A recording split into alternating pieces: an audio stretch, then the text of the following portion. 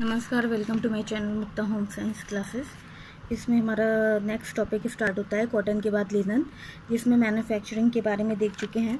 इसकी मैन्युफैक्चरिंग जो लिनन का उत्पादन कैसे होता है, उसका प्रोसेस हो गया है कैरेक्टरिस्टिक्स ऑफ़ लिनन इनकी विशेषताएँ देखें तो उनकी दो विशेषताएँ होती हैं फ़िज़िकल एंड केमिकल फिज़िकली में हम सबसे पहले संगठन की बात करते हैं। संगठन में सेलूल जो है वो इकहत्तर परसेंट रहेगा।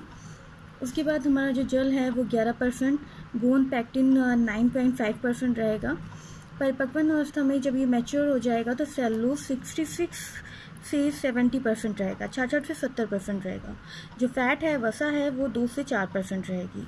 प्राकृतिक अशुद्धियाँ उसमें आएगी तो छब्बीस से तीस परसेंट। लेंथ की बात करें, वानस्पतिक रेसों में सबसे लंबा रेसा जो सबसे लंबा पौधा होता है और औसतन इसकी जो लेंथ होती है, लंबाई होती है, दस से बीस इंच तक होती है।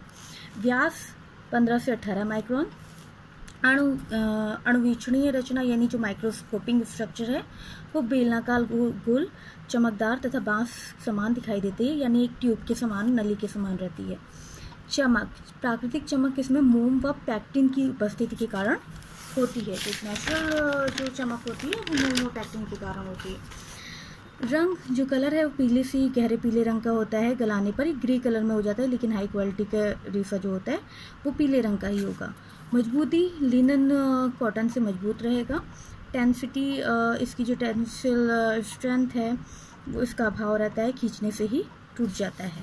इलास्टिसिटी का भी अभाव रहता है, क्योंकि कड़ा होता है और परिसज्जा में सिकन प्रतिरोधी बनाया जाता है। प्रतिस्कंदता जिसे रेसिलिटी बोलते हैं, अभाव होता है। इसका भी, यानी लेनन के वस्त्रों में, इसका भी अभाव रहता है। एक बार लेनन की वस्त्रों पर सिकन पड़ जाए तो बिना स्त्रीकरण नहीं हटते हैं। ताप संवाहकता, जो हीट कंडक्टिविटी है, वो गर्मी के मौसम के लिए अनुकूल है, लिनन की वस्त्र। विद्युत संवाहकता, जो इलेक्ट्रिक कंडक्टिविटी है, लिनन का विद्युत का अच्छा संवाहक है, वस्त्र अत्यंत आरामदायक है। नमी अवशोषकता हाई क्वालिटी है, यानी अच्छे से अवशोषित कर लेता है, जैसे पसीना हुआ, ये है तो इनको अच्छे से अवशोषित कर लेता है। घर्षण तथा रगड़ का प्रभाव हानिकारक प्रभाव नहीं पड़ता है, अधिक रगड़ने पर फट सकता है, लेकिन उससे ज़्यादा रगड़े तो फट सकता है। सफ़ाई धुलाई की करें तो सरल है करना भीगने पर इसकी मजबूती 20 परसेंट और बढ़ जाती है। दादीदा एवं सूखे ताप का प्रभाव देखें तो लिनन की, का जो फाइबर है, कपास की समान ज्वलनशील होता है या अधिक ताप पर झुलसता है। लौ के, लौ हटाने के बाद भी ये लिनन का जो फाइबर है वो जलता रहता है और कागज़ की जलने के समान रहता है। धूप एवं प्रकाश का प्रभाव देखें, हानिकारक प्रभाव पड़ेगा। सॉरी, हानिकारक प्रभाव नहीं पड़ेगा। किंतु अधिक समय तक रखने पर इसकी जो कैपेसिटी है वर्किंग कैपेसिटी इसमें कमी आ जाती है। अब घर्षण प्रतिरोधकता लिनन की जो घर्षण प्रतिरोधकता है, उस वो मोड़ों पर कम रहती है। सूक्ष्म जीवाणु सूक्ष्म जीवाणु तथा कीटों की प्रति प्रतिरोधकता तो प्रभाव इसका भी नहीं पड़ता। जो सूक्ष्म जीवाणु है कीटों, इनका प्रभाव नहीं पड़ता, लेकिन फफूंद का पड़ता है।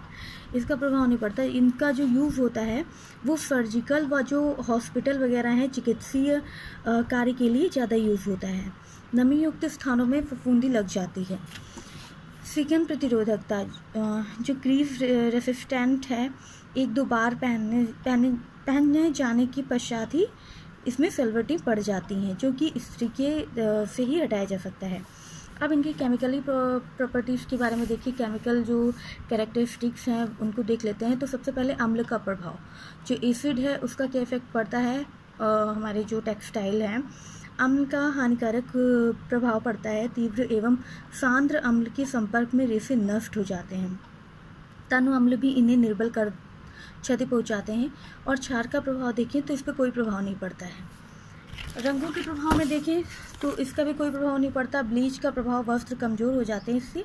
पसीने के प्रभाव में पसीना सोखने की अद्भुत कैपेसिटी होती है इसमें। अब बात करते हैं जूट। जूट की रेसे भी जूट के पौधे के तने से प्राप्त होता है। प्राचीन काल से ही जूट की खेती भारत और बांग्लादेश में होती रह, होती ही रही है। बांग्लादेश से प्राप्त जूट हाई क्वालिटी का होता है। जो फाइबर होता है जूट का, वो हाई क्वालिटी का होता है। जूट उत्पादन से बांग्लादेश प्रथम स्थान पर है।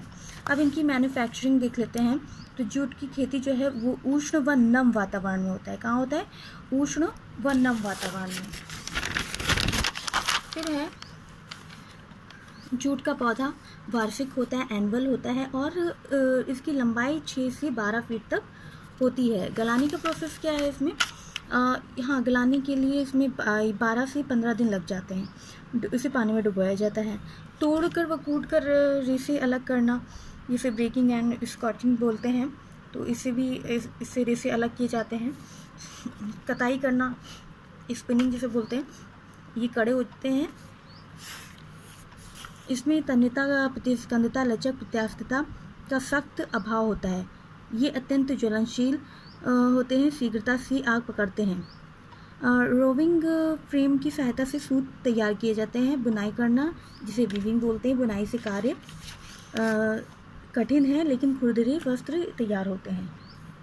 क्योंकि ये जो है टफ पड़ जाता है कड़े होने के कारण। फिर प्रॉपर्टीज़ इनको देख लेते हैं, इनका यूज़ जूट की प्रॉपर्टीज़ और उनका यूजेस क्या है। तो हाई क्वालिटी का जूट चमक, कोमल एवं आकर्षक होता है, यह हल्के पीले रंग का होता है। इसका विरंजन करना कठिन है, परंतु आजकल इसे विरंजित भी किया जा सकता है। जूट के रेसे अधिक ताप एवं वाता, नम वातावरण में नष्ट हो जाते हैं। इन पर सूक्ष्म जीवों का भी अत्यधिक प्रभाव पड़ता है। नमी युक्त वातावरण में सूक्ष्म जीव इन्हें नष्ट कर डालते हैं। जो मिनरल्स जो खनिज अम्लों के संपर्क में आकर जूट के वस्त्र गल जाते हैं। अत्यधिक तीव्र क्षार का प्रभाव भी इस इस पर हानिकारक होता है। इससे रेसे कमज़ोर हो जाते हैं, निर्बल होकर कमज़ोर हो जाते हैं, जिससे इनकी कार्य क्षमता कम हो जाती है। जूट को रंग जूट को रंग कर इनसे विभिन्न उपयोगी चीज़ें, जैसे थैले आदि बनाए जाते हैं। जूट का अत्यधिक जो उपयोग होता है बोरी, कट्टे, दरी रस्सियाँ आदि में यूज़ होता है। आजकल ब्लीच किए गए जूट का उपयोग सूदी वस्त्र निर्माण में ताने व बाने के बीच रिक्त स्थान को भरने के लिए किया जाता है, जिससे जल अवरोधक आदि उपयोगी वस्त्र बनाए जाने लगे हैं। तो इस वीडियो में हमारा जूट ख़त्म होता है। नेक्स्ट वीडियो में आगे का टॉपिक जैसे वूल है सिल्क है, इन सब के बारे में बात करेंगे। तो इस वीडियो में इतना ही। Please subscribe my video like and share it thank you